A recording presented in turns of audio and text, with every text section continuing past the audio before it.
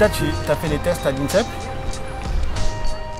Ah oui Ouais, et est-ce que c'était dur Ouais, c'était dur. Vraiment. euh, Bah c'était intense. Ouais. Et comment t'as appris que t'as été sélectionné? À quel moment?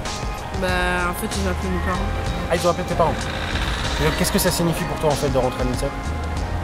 Bah c'est une filière... euh, Bah c'est la filière pour passer en pro donc euh, c'est déjà bien.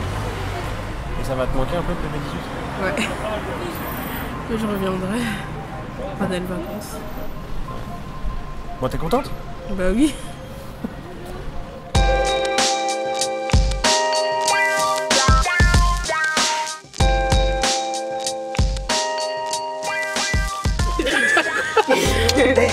Tia, vas-y, clap. Première. Non, sérieux, vas-y, on y va, on y va. Attends, j'ai des qui Mais non, y a pas de larmes.